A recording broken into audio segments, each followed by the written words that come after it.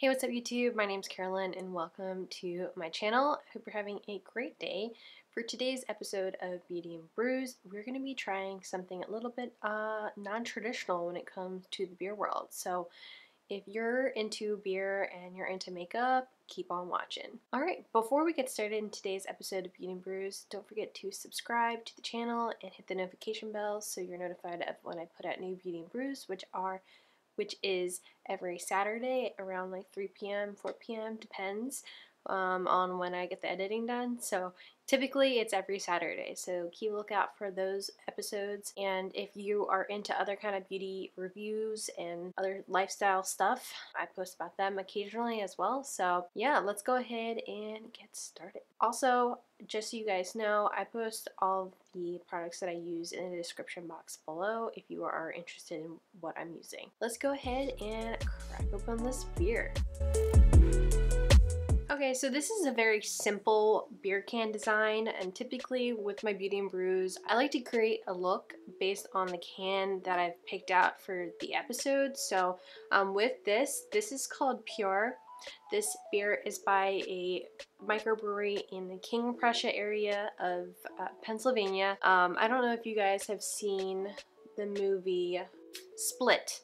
Split is where you can tell the actress, it's actually based on the area um, King of Prussia, and we'll say King of Persia or King of Prussia, it's King of Prussia, not King of Persia. And you can tell in the movie, she like, she says King of Persia, and you can tell automatically that she was not from the area and obviously pronouncing it incorrectly. So I just wanted to add that little tidbit in there. But yeah, I really do like this can. It, um, it seems like it's gonna be an interesting beer just because I've never had sake and beer before. I've had, I think, sake before. Um, maybe I even haven't, but this is only 4.1%. And um, oh, you could smell right off the bat that this has like um, a nice aromatics to it and it definitely smells like beer. It says, inspired by the flavors, techniques, and ingredients of Japanese sake. Okay, so it's a take, a beer take on Japanese sake. And uh, yeah, so it's only 4.1%. It's pure and light, clean, crisp, and full of flavor. A nod to tradition, both supple and complex. So yeah, I'm excited to give this a try. Here's what it looks like, golden in color, very light. A little bit left there. That's good. I uh, I definitely like that a lot. That's like an interesting like texture, like mouth feel. Although it is very light, it is like not as like beer flavored forward, if you know what I'm saying. Like sometimes beer just has that taste to it. You're just like, it tastes like can. This is actually really light and crisp. So while I kind of like drink and talk about the beer, I'm gonna go ahead and zoom in so we can do some makeup. Okay, so I'm not too familiar with what sake is, to be honest. I don't think I've ever had it. So sake is is spelled Sake, S-A-K-E with the hyphen over top of it. And it's made by fermenting rice. It's a really interesting concept to think about for beer, for sure. Um, so let's go ahead and give it a sip again. So I tested out my mic and I, have had this mic forever, so if you hear a bit of a difference in sound quality, you're right, there is a difference. Okay, so I'm going to go ahead and use my sample of Makeup Forever's matte foundation. I'm going to go ahead and use the Beautycounter's Illuminating Cream. This is a hydrating luminizing moisturizer. You know, when you like put your makeup on, your skin, your hands are just so cold. It just makes you feel colder. That's how it's going to be for the next like four months. We don't ever turn a heat on in the house. And if we do, it has to be like a really cold night. Crazy. It's what electric baseboard heating will do. I really do like this beer. It's not bad at all. I like really enjoy the flavor. It's not too like beer forward so it doesn't get that like metallic flavor and it has like a slight alcoholic tone like close to like a vodka which makes sense because of the it being a sake and now if I have anyone that follows me that really enjoys sake let me know because I want to try some I think I just like wouldn't really know which one to get. If you have any recommendations, that'd be really cool. And obviously like COVID cases are going up, so we're not really going out or doing much. At least I'm not because I don't have a job. I'm gonna go ahead and do my eyebrows. So anybody watching any good shows on Netflix right now? The second lockdown's coming. I need I need recommendations. You know, I hope everyone's doing okay mentally. You can get help, I definitely suggest doing it.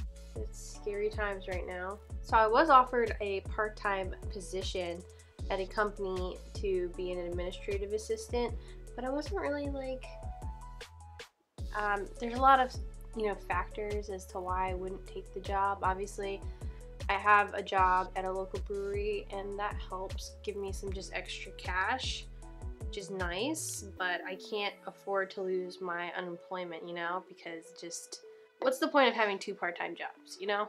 if it doesn't cover everything. If it covered everything, great. I would have been all for it, you know? Alright, I'm to go ahead and use the CoverGirl Concealer. This is one of my favorites currently.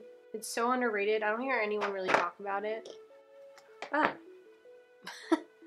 I a coaster stuck to the bottom of my glass. There's a subtle note with that beer. I can't really place my finger on like what it really tastes like. There's like no citrus flavors in there. It's very like supple and not in your face at all when it comes to the flavor. It's so good. It's lovely. If I saw that beer out, I, out at a restaurant, I would probably order it because of how like well balanced beer. Okay, so I'm gonna go ahead and little, do a little contour. I'm gonna use the UOMA uh, Double Take Sculpt and Strobe Duo in Fair Lady.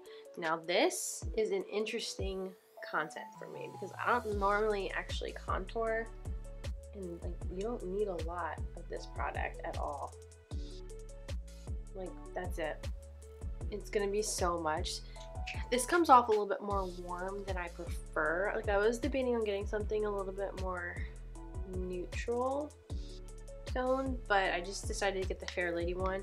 I might pick one up eventually again in the future, but not at this time obviously things are tight and this was on sale so who doesn't love a good sale especially in a product you've been eyeing up for like ever so yeah you, you can see that kind of reads a little bit more orangey red for me I'm not the hugest fan of when I contour I usually just do those two spots because my face is really round just need something to make my face look a little bit more like square it's not bad I don't mind this contour stick at all should I contour my nose? I don't ever contour my nose. More beer, please.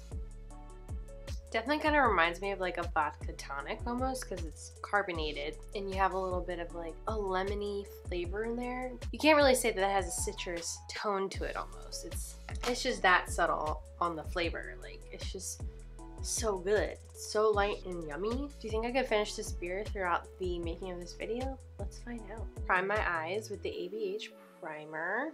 You guys know this is not my favorite, but I'm trying to use it up, you know? Okay, I'm still working on the show Shadowhunters.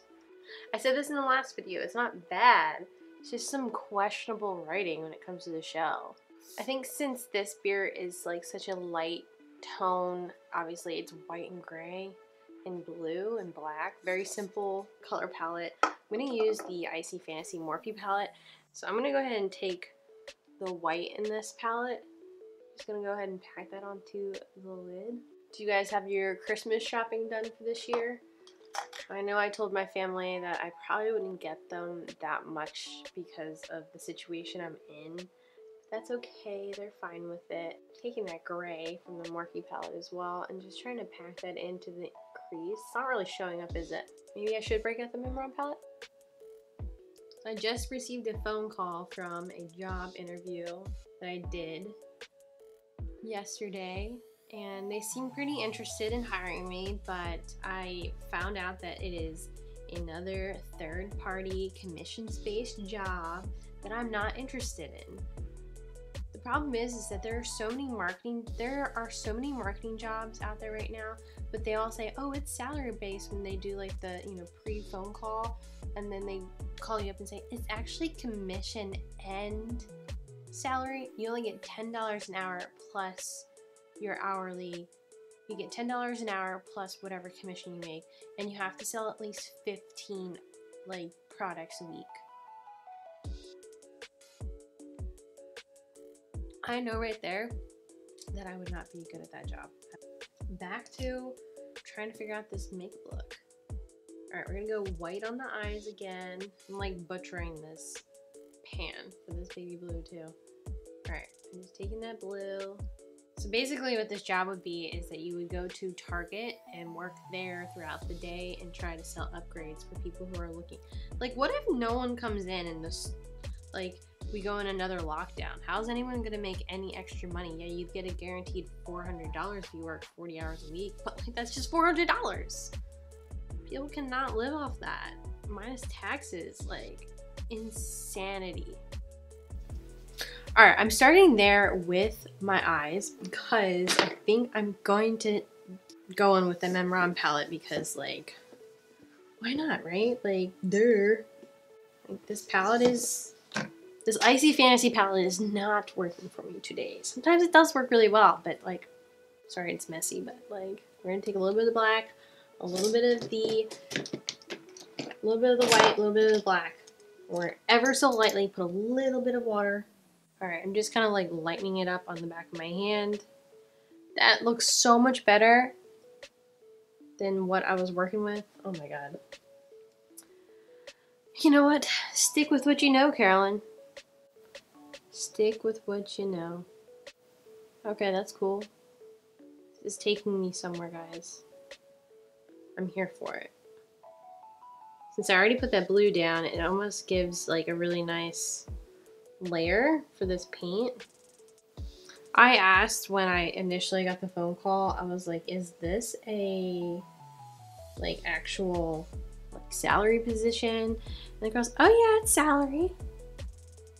It's not technically salary. Like don't lie to like potential applicants of what the job actually entails. Stop selling them a dream of something that's actually not really like healthy. Like, I don't want to go into sales. Like, that's where I'm at right now with job hunting. So, just in case you guys I think it's just really shitty right now what people have to go through for jobs.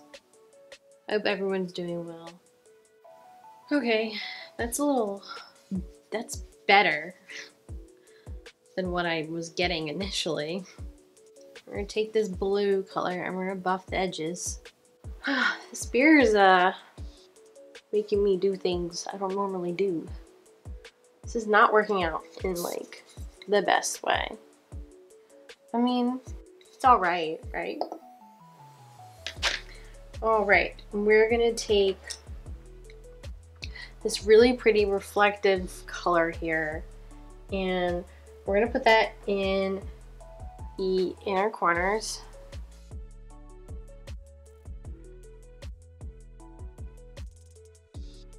I think this like shimmer is so pretty from this palette. It's like one of my favorite eyeshadow. it's like one of my alcohol. Alcohol. Alright, I need something to balance out how like cool toned my face is. So we're gonna go ahead and add a cream blush. This is a peachy pink tone.